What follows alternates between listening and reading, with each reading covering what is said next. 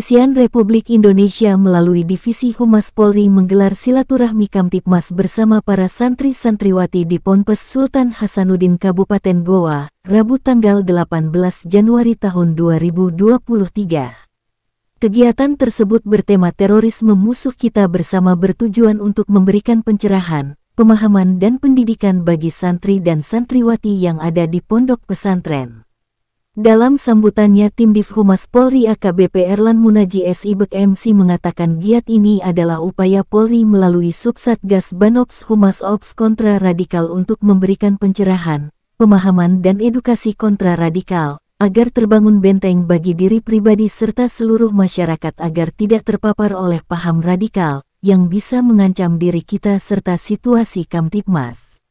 Pemberantasan paham radikalisme serta terorisme adalah masalah yang kompleks. Hal ini bukan tugas aparat keamanan saja, tetapi merupakan tugas kita semua. Oleh sebab itu perlunya komunikasi, koordinasi serta kolaborasi dengan seluruh elemen masyarakat, pentingnya tabayun sebelum men-share informasi dan bijaklah dalam bermedia sosial, ujar Erlan. Sementara itu, Pemateri Mitra Kepolisian Muhammad Nasir Abbas memberikan penjelasan ke para santri bahwa jangan pernah merasa paling istimewa, selalu benar dan menghujat serta mengkafirkan, membidayakan sesama.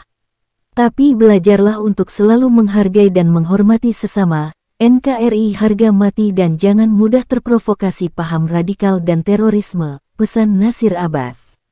Demikian halnya, Ketua Yayasan Pendidikan Sultan Hasanuddin Kap Goa Dr. KHM Bahtiar Syamsuddin LCMA mengaku sangat bahagia dan bersyukur atas kedatangan tim dari Div Humas Polri. Ia menjelaskan sejak berdirinya pesantren 37 tahun yang lalu, kami sudah wakafkan untuk umat Islam, bangsa dan negara kita tercinta ini. Kami berharap semoga kegiatan ini menjadi ajang silaturahmi dan dapat memberikan manfaat dan pencerahan, terkait terorisme dan paham radikalisme yang merupakan musuh kita bersama, ucap Pak Kiai.